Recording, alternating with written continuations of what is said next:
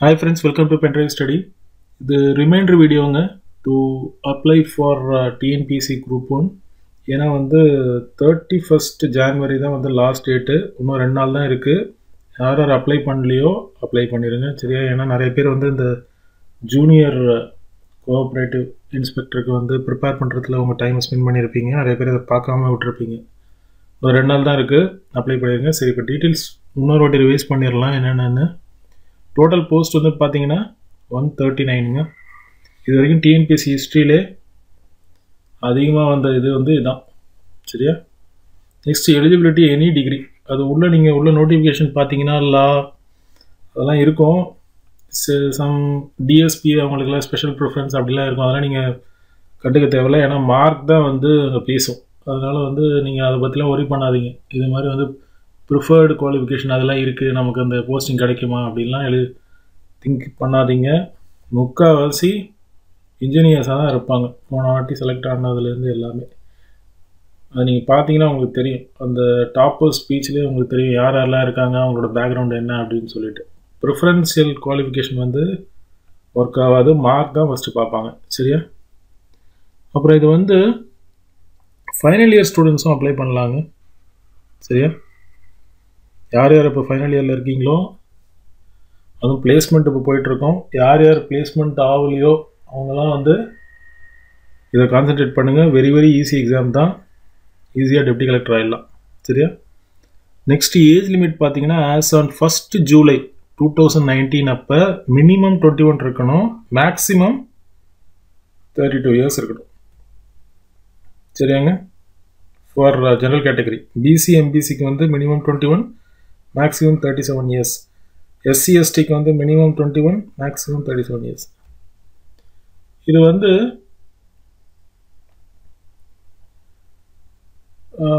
இந்த லா டிகிரி முடித்தவங்களுக்கு வந்து எக்ஸ்ட்ரா இது கொடுத்துருக்காங்க ஒன் இயரு அதை நான் இங்கே ஹைலைட் பண்ணலை. ஏன்னா வந்து லா ஸ்டூடெண்ட்ஸ் கம்மியாக தான் இருக்காங்க. அதனால் நீங்கள் அதை செக் பண்ணிக்கோங்க நோட்டிஃபிகேஷன் சரியா? நெக்ஸ்ட் ஃபீஸ் பார்த்தீங்கன்னா எப்போவுமே வந்து ஃபார் எக்ஸாம்பிள் ஃபைனல் இயர் ஸ்டூடெண்ட்ஸ்லாம் இதுதான் ஃபஸ்ட்டு டைம் அப்ளை பண்ணுவாங்க இல்லையா? அவங்களாம் வந்து ஒன் டைம் ரிஜிஸ்ட்ரேஷன் அப்படின்னு ஒன்று இருக்குங்க டிஎன்பிஎஸ்சியில் அதுக்கு வந்து ஒன் ஃபிஃப்டி ருபீஸ் கொடுத்து நம்ம எல்லாத்தையும் வந்து பே பண்ணி வச்சுக்கணும். சரியா? இப்போ ஃபார் எக்ஸாம்பிள் எப்படி நம்ம பேங்க் அக்கௌண்ட்டில் ஃபஸ்ட்டு எடுத்தோடனே செக்யூரிட்டி டெபாசிட் மா பண்ணோன்னா ஃபஸ்ட் எடுத்தோடனே ஒரு மூவாயிரரூவா கட்டுறோம்ல மூவாயிரரூமோ ஐயாயிரமோ வச்சுட்டு மினிமம் பேலன்ஸ் மெயின்டைன் பண்ணுறோம்ல அதே மாதிரி கான்செப்ட் தான் நூற்றி ஐம்பது ரூபா கொடுத்தீங்கன்னா அஞ்சு வருஷத்துக்கு உங்களுக்கு அந்த மே பேசிக் டீட்டெயில்ஸ்லாம் சேவ் பண்ணுற மாதிரி இருக்கும். அதுக்கு அடுத்தது எக்ஸாம் வைஸாக பே பண்ணுற மாதிரி இருக்கும். ஃபார் எக்ஸாம்பிள் டிஎன்பிசி குரூப் ஒன்றுக்கு எவ்வளோ அவங்க ஃபீஸ் அலாட் பண்ணியிருக்காங்கன்னா நூறுரூவா சரியா? இப்போ மே மந்த் வந்து குரூப் டூ வரப்போகுது. அப்போ என்ன பண்ணுவாங்க?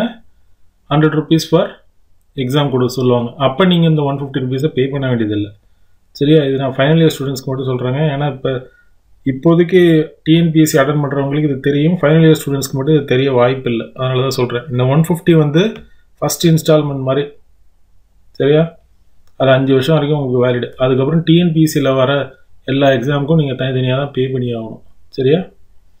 இந்த டிஎன்பிசி குரூப் ஒன்றை பொறுத்த வரைக்கும் நூறுரூவா. அதாவது இரநூத்தி ஐம்பது ரூபா உங்களுக்கு செலவாகும். For general category BC and எம்பிசிக்கு வந்து three two three free chances இருக்குதுங்க. சரியா?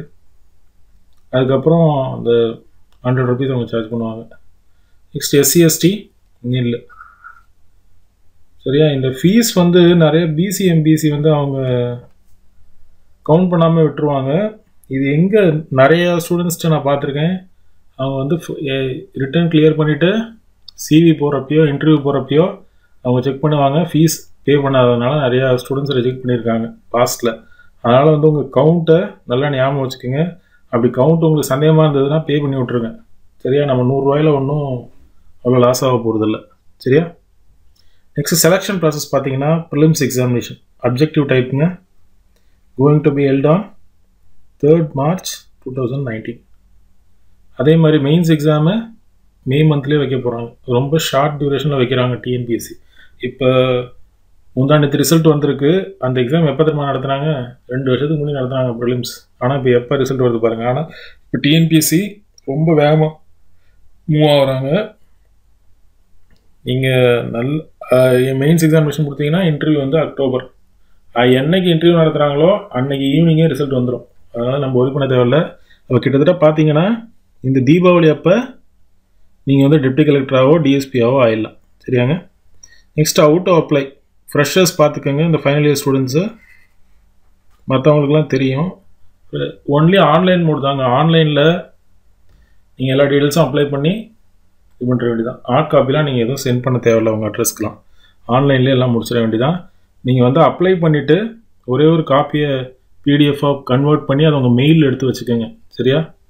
நிறைய ஸ்டூடெண்ட்ஸ் வந்து அதை கேர்லெஸ்ஸாக விட்டுருவாங்க. அப்படி பண்ணாதீங்க. இந்த ஃபைனல் இயர் ஸ்டூடெண்ட்ஸ் உங்களுக்கு தெரியும் உங்களுக்கு நான் சொல்லித் தர வேண்டியதில்லை சிஸ்டம் கம்ப்யூட்டர் பற்றி அப்ளை பண்ணுங்கள் அப்ளை பண்ணிவிட்டு கடைசியாக பிரிண்ட் அவுட் அப்படின்னு ஆப்ஷன் இருக்கப்ப சேவ் அப்படின்னு ஒன்று இருக்கும் இல்லையா? அதை பிடிஎஃபாக மாற்றி சேவ் பண்ணி அதை உங்களோட மெயிலுக்கு அனுப்பிச்சி வச்சுக்கோங்க. டிஎன்பிசி குரூப் ஒன் அப்ளிகேஷன் அப்படின்னு சொல்லி அனுப்பிச்சி வச்சுக்கோங்க. ஏன்னா மே மந்த்து நடக்கும் போது இல்லையா? மெயின்ஸ் எக்ஸாம் அதுக்கு தனியாக ஒரு வாட்டி அப்ளை பண்ணுற மாதிரி இருக்கும். அதுக்கு ஒரு ஃபீஸ் சார்ஜ் பண்ணுவாங்க. அதில் சில ஃபண்டம் சில டீட்டெயில்ஸ்லாம் நம்ம அப்ளை பண்ணணும். ஃபார் எக்ஸாம்பிள் டிஎஸ்பி அப்ளை பண்ணுறவங்கலாம் வந்து அந்த ஐ டெஸ்ட்டு ஐட்டு செஸ்ட்டு அதெல்லாம் வந்து ஒரு டாக்டர்கிட்ட சைன் வாங்கி கொடுக்கணும். அதெல்லாம் அப்லோட் பண்ணுறப்ப இதுவும் அவங்க கேட்பாங்க. சரியா? அதனால் அதை காப்பி எடுத்து வச்சுக்கோங்க. சேலரி பார்த்தீங்கன்னா அவங்க ஒன் லேக் அப்படி இப்படிலாம் போடுறாங்க. அப்படிலாம் கிடையாது. இனிஷியலாக செவன்ட்டி ஃபைவ் ஃபைவ் ஹண்ட்ரட் வரும். ட்ரைனிங் பீரியடில் application date three January two thousand nineteen to thirty first January two thousand next written examination on third March two thousand nineteen இன்னும் ஒரு மாதம் இருக்குது அதை சின்சியராக ப்ரிப்பேர் பண்ணிங்கனாலே போதும். டெய்லி த்ரீ ஹவர்ஸ் கூட போதும். சரியா? ஆனால் ஒரு எல்லாத்தையும் மொத்தமாக கிளப் பண்ணி பார்த்தீங்கன்னா ஒரு 90 டாபிக்ஸ் வருங்க. ஒரு நாளைக்கு மூணு டாபிக் பார்த்தீங்கன்னா கூட ஈஸியாக கவர் பண்ணிட்டு போயிடலாம். வெரி வெரி ஈஸி எக்ஸாம் தான் டிஎன்பிஎஸ்சி அவ்வளோக்கு நீங்கள் இன்ஜினியர் ஸ்டூ இன்ஜினியரிங் ஸ்டூடெண்ட்ஸ் வந்து நீங்கள் கேட் எக்ஸாம்லேயோ ஐஏஎஸ் அது மாதிரிலாம் ஒர்க் பண்ணுறதுக்கு நீங்கள் டிஎன்பிசியில் ஈஸியாக முடிச்சுட்டு டெப்டி கலெக்டர் ஆகிட்டு ஓன் ஸ்டேட்லேயே கிடைக்கும். நீங்கள் ஈஸியாக அப்புறம் ஒரு டென் இயர்ஸ் கழிச்சு ஐஏஎஸ் ஆகிட்டு நீட்டாக இருந்துடலாம். சரியா? அது ஐஏஎஸ்னால் அது உங்களுக்கே தெரியும். காம்படிஷன் லெவல் எவ்வளோ ஹையில் இருக்குன்னு. இது வந்து ஈஸியான மெத்தடு ஃபாலோ பண்ணுங்கள் சரியா? ஏன்னா இப்போ ஃபைனல் இயர் ஸ்டூடெண்ட்ஸ் நீங்கள் பா சிவில் சர்வீஸ் அப்ளை பண்ணுற மாதிரி இருந்தால் கூட ஜூனில் அந்த யூபிஎஸ்சி சொல்கிறேன் ஜூனில் எக்ஸாம் எழுதி நவம்பரில் மெயின்ஸ் எழுதி அதுக்கப்புறம் வந்து பிப்ரவரியில் இன்டர்வியூ அட்டன் பண்ணி மார்ச்சில் தான் உங்களுக்கு போஸ்டிங் கிடைக்கும். அதுவும் நமக்கு அந்த ஐஏஎஸ் கிடைக்குதான்னு தெரியல. நான் உங்களை டிஸ்கரேஜ் பண்ணல. இருந்தாலும் இதுக்கு இம்பார்ட்டன்ஸ் ஏன் கொடுக்க சொல்கிறேன்னா இது ரொம்ப ஈஸி அதான் சொல்கிறேன் ஈஸி வே நம்ம ஓ மதர் ஸ்டேட்லேயே கிடைக்குது. Next exam pattern general studies general science and current affairs இதுலேருந்து ஒன் ஃபிஃப்டி கொஸ்டின் வருங்க.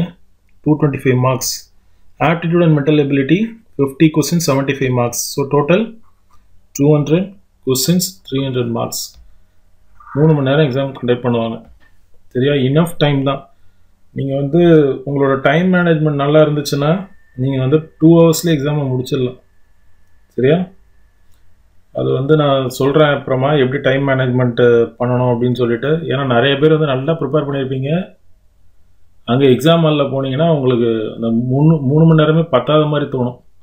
அது ஆக்சுவலாக வந்து டூ ஹவர்ஸே போதும். ஒன் ஹவர் வந்து நீங்கள் சும்மா உட்காந்துருக்கலாம் நான் சொல்கிறத கேட்டிங்கன்னா. அதை நான் சொல்கிறேன் நான் உங்களுக்கு அப்ளோ வீடியோ அப்லோட் பண்ணுறேன் ஷார்ட்லி சரியா? நெக்ஸ்ட்டு இந்த கொஸ்டின் பேட்டர்னில் one fifty question general studies and general science and current affairs சொன்னேன் இல்லையா? அதோட ஸ்பிளிட் அப்புங்க கீழே. அதே மாதிரி ஆப்டிடியூட ஸ்பிளிட் அப் கீழே. First general studies general science and current affairs பார்த்துடலாம். எத்தனை எத்தனை கொஸ்டின் வந்திருக்குன்னு. இதை நான் எப்படி போட்டிருக்கேன்னா ஃபாரஸ்ட் அப்ரண்டிஸ் அப்படின்ற ஒரு எக்ஸாம் நடத்துனாங்க. டூ தௌசண்ட் எயிட்டீனில் அதுவும் இதே பேட்டர்ன் தான். One fifty questions from general studies general science and current affairs fifty question from aptitude and total two hundred அந்த இதை லிங்க் வச்சு தான் நான் சொல்கிறேன் சரியா? அதுக்கப்புறம் வந்து எதுவுமே இந்த பேட்டர்னில் நடத்தலை. ஏன்னா நீங்கள் பார்த்தீங்கன்னா குரூப் டூலாம் uh, என்ன? ஜென்ரல் இங்கிலீஷ் அதெல்லாம் இருந்துச்சு. சரியா? ஆனால் இதே மாதிரி டிட்டோவான பேட்டர்ன் உள்ள எக்ஸாம் வந்து ஃபாரஸ்ட் அப்ரெண்டிஸ் தான். அதை நான் அப்படியே எடுத்துக்கிட்டு இங்கே ப்ரெசென்ட் பண்ணியிருக்கேன். சரியா? ஹிஸ்ட்ரி டுவெல் கொஸ்டின்ஸ் டிஎன்பிஎஸ்சியை பொறுத்த வரைக்கும் history and Indian national movement தனித்தனியாக தாங்க இருக்கும். சிலபஸ் நீங்கள் பார்த்துருப்பீங்க. இந்தியன் நேஷனல் மூமெண்ட்டில் ஃபிஃப்டீன் கொஸ்டின்ஸ் ஜாகிரஃபியில் ஒன் ஃபிஃப்டீன் பாலிட்டியில் ஃபிஃப்டீன் எக்கனாமியில் ஃபிஃப்டீன் ஃபிசிக்ஸ் கெமிஸ்ட்ரியில் டுவெண்ட்டி பாட்னி ஜுவாலஜியில் டுவெண்ட்டி கரண்ட் அஃபேர்ஸ்லேருந்து டுவெண்ட்டி செவன் ஜிகே அண்ட் மிசலேனியஸில் ஃபைவ் இந்த கரண்ட் அஃபேர்ஸ் வந்து இது அந்த ஃபாரஸ்ட் அப்ரண்டிஸ் வரைக்கும் இது போட்டிருக்கேங்க. ஆனால் வந்து இப்போ நேத்தி நடந்த எக்ஸாம் நீங்கள் பார்த்தீங்கன்னு வச்சுக்கோங்களேன் அந்த ஜூனியர் இன்ஸ்பெக்டர் கோஆப்ரேட்டிவ் சொசைட்டி அதில் பார்த்தீங்கன்னா கரண்ட் அஃபேர்ஸ்லாம் வந்து அவங்க ரொம்ப எங்கேருந்தோ எடுத்திருக்காங்க. ஜனவரி அது மாதிரிலாம். அதனால் குரூப் ஒன்றில் என்ன பண்ண போகிறாங்கன்னு தெரியல. என் கணிப்புப்படி மோஸ்ட்லி அவங்க வந்து இந்த ஜனவரி மந்த்லேயே முடிச்சிருவாங்கன்னு தான் நினைக்கிறேன். அப்படி இல்லைன்னா ஏதாவது ஒரு இயர் புக் வாங்கி நீங்கள் படிச்சு தான் ஆகணும். மனோரமாவோ பிரத்யோகிதா தர்ப்பணம் இந்து ஏதோ ஏதாவது ஏதாவது ஒரு இயர் புக் வாங்கிக்கோங்க. அதை படிச்சிருங்க. வேறு வழி இல்லை. ஏன்னா அவங்க வந்து இங்கேருந்து எடுக்கிறாங்க. அது இல்லாமல் கரண்ட் அஃபேர்ஸ்க்கு இப்போ இம்பார்ட்டன்ஸ் கொடுக்க மாட்டுறாங்க என்னன்னு தெரியல. ரீசெண்டாக நடந்த நாலு எக்ஸாமையும் பார்த்தா அப்படி தான் இருக்குது ஜெயிலர் எக்ஸாமில் கூட அவ்வளோ கரண்ட் அஃபேர்ஸ்லேருந்து வரவே இல்லை. என்னன்னு தெரியல. சரியா? சரி நோட் பண்ணிக்கோங்க. நெக்ஸ்ட்டு மென்டல் எபிலிட்டி இந்த ஃபிஃப்டி கொஸ்டின்ஸ் இருக்கு இல்லையா? இதோட split up number number system and simplification சரியா? ஏன்னா டிஎன்பிசி பொறுத்த வரைக்கும் சிம்பிளிஃபிகேஷன் சிலபஸில் இருக்கும். ஆனால் நம்பர் சிஸ்டம்ல தான் கொஸ்டின் வரும். ஆவரேஜ் ஆஃப் நம்பர்ஸ் என்ன? அப்படி இப்படின்லாம் கேட்டு. சரியா? நெக்ஸ்ட்டு ரேஷியோ ஃபைவ் எல்சிஎம் ஹெச்சிஎஃப்லேருந்து ஃபைவ் சிம்பிள் இன்ட்ரெஸ்ட் அண்ட் காம்பவுண்டர்ஸ்லேருந்து ஃபைவ் மென்சுரேஷன்லேருந்து எயிட் ப்ராஃபிட் அண்ட் லாஸ்லேருந்து two speed and டிஸ்டன்ஸ்லேருந்து two age problem two simplification six reasoning five miscellaneous five மிசலேனியஸ்னால் இது அந்த ட்ரெயின் ப்ராப்ளம் ப்ராபபிலிட்டி டிக்னாமெட்ரி அந்த ரேஞ்ச் என்ன வேரியன்ஸ் என்ன ஸ்டாண்டர்ட் டிவிஷன் என்ன அதெல்லாம் இப்போ நிறைய கொஸ்டின் வந்துருந்துச்சிங்க. இந்த ஜூனியர் இன்ஸ்பெக்டர்லாம் நிறைய கொஸ்டின் கேட்டிருந்தாங்க. அவுட் ஆஃப் சிலபஸ் நிறையா வந்துருந்துச்சு சரியா? அந்த டோட்டல் இதான் இது. இப்போ நீங்கள் எக்ஸாம்க்கு எப்படி இருக்கும்னா இந்த மொத்தம் டூ ஹண்ட்ரட் கொஸ்டின்ஸ் இருக்கு இல்லையா? இந்த டூ ஹண்ட்ரட் கொஸ்டின்ஸில் ஷுவராக ஃபார்ட்டி கொஸ்டின்ஸ் வந்து புதுசாக தாங்க இருக்கும். அதாவது வந்து எப்படின்னா அந்த எக்ஸாமினர் கொஸ்டின் பேப்பர் ப்ரிப்பேர் பண்ணுறாரு இல்லையா? அவருக்கு மட்டும் தான் தெரியும் எங்கேருந்து எடுத்தாருன்னு சொல்லி. நம்மளால அதை கெஸ் பண்ணவே முடியாது. நான் என்ன சொல்கிறேன் அந்த நாற்பது கொஸ்டின் நம்ம விட்டுருவோம். இரநூறு கொஸ்டினில் நாற்பது கொஸ்டின் போச்சுன்னா அதில் நூற்றி இருபது கொஸ்டின் அந்த நூற்றி இருபது கொஸ்டினையும் கரெக்டாக எழுத பாருங்கள் போதும். புரியுதா? நீங்கள் வந்து நிறைய கொஸ்டின் பேப்பரை பார்த்து இப்போ ப்ரீவியஸ் இயர் கொஸ்டின் பேப்பர்லாம் பார்த்துருப்பீங்க. அதில் சில இதெல்லாம் புதுசு புதுசாக இருக்கும். அதெல்லாம் நீங்கள் எடுத்துக்கிட்டு அதை அது எங்கே இருக்குது இது எங்கே இங்கே இருக்குது அப்படிலாம் நீங்கள் திங்க் பண்ணாதீங்க. நீங்கள் வந்து இந்த நூற்றி அறுபது கொஸ்டினை கான்சென்ட்ரேட் பண்ணுங்கள் நிறைய பேர் அப்படி தான் தப்பு பண்ணிடுவாங்க. கொஸ்டின் பேப்பர் எடுப்பாங்க. ஏதாவது புதுசாக இருக்கும். உடனே அதை ஆராய ஆரம்பிச்சிருவாங்க. அப்படி பண்ணாதீங்க. ஸ்கூல் புக்ஸ் ஃபுல்லாக படிங்க. ஸ்டாண்டர்ட் புக்ஸ் ஃபுல்லாக படிங்க. கரண்ட் அஃபேர்ஸ் ஃபுல்லாக படிங்க. போதும். கிளியர் பண்ணிடலாம். எல்லா ஸ்டூடெண்ட்ஸும் பண்ணுற மிஸ்டேக் இதுதான். அவங்க வந்து ரிசர்ச் பண்ண ஆரம்பிப்பாங்க. அதெல்லாம் பண்ணாதீங்க. என்ன புக்கில் இருக்கோ அதை மட்டும் படிச்சுட்டு போங்க போதும். ஏன்னா அந்த நாற்பது கொஸ்டின் வந்து அவங்க எக்ஸாமினர் கடினமாக தான் வைப்பாங்க. ஏன்னா அவங்களோட லெவலில் அவங்க விட்டு தர மாட்டாங்க. அவங்க அவங்க வந்து என்னென்னா சீனியர் ப்ரொஃபஸர்ஸாக தாங்க இருப்பாங்க. ஃபிஃப்டி ப்ளஸ் தான் இருப்பாங்க. அப்படின்னா இப்போ நீங்கள் வந்து ஃபைனல் இயர் தான் படிச்சுட்டு இருக்கீங்க காலேஜில் உங்களுக்கும் அவங்களுக்கும் எவ்வளோ டிஃப்ரென்ஸ் முப்பது வருஷம் கிட்டத்தட்ட டிஃப்ரென்ஸ் இருக்குது அவர் படிச்சிருக்க புத்தகங்களுக்கும் நம்ம படித்த புத்தகங்களுக்கும் சம்மந்தமே இருக்காது. அதனால் வந்து அந்த ஃபார்ட்டி கொஸ்டின்ஸை வந்து அவங்க கடினமாக தான் வைப்பாங்க. அது வேணால் விட்டுருங்க. ஒன் சிக்ஸ்டி கொஸ்டின்ஸை மட்டும் கான்சென்ட்ரேட் பண்ணுங்கள் ஒன் சிக்ஸ்டி கொஸ்டினும் ரொம்ப ஈஸியாக தான் இருக்கும். சரியா? நீங்கள் அந்த நாற்பது கொஸ்டினை பார்க்க போய் அந்த நூற்றி இருபதையும் விட்டுறாதீங்க. அதான் எல்லா ஸ்டூடெண்ட்ஸும் பண்ணுற மிஸ்டேக்கு